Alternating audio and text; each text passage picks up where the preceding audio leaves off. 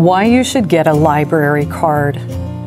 It's your ticket. Hey, it's free. Step in to step out. It's your mind on wings, landscape, seascape, escape.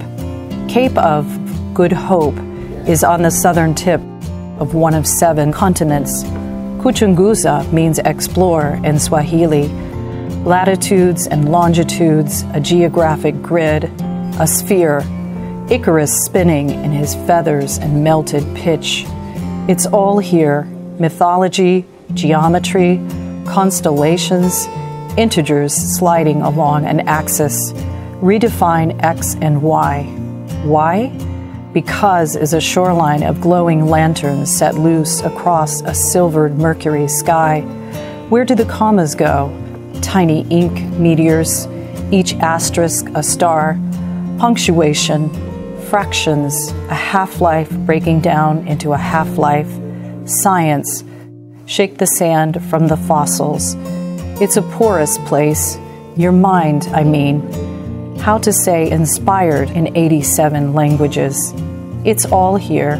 How to tie a sailor's knot, origami, an orchid, your ancestry, a timeline of clothes pinned histories, key and compass, pass through Versailles and Machu Picchu, madly fresco the walls of your imagination with words, amber sweet, obelisk, bombax, spoonbill, Susquehanna. Listen with your eyes wide.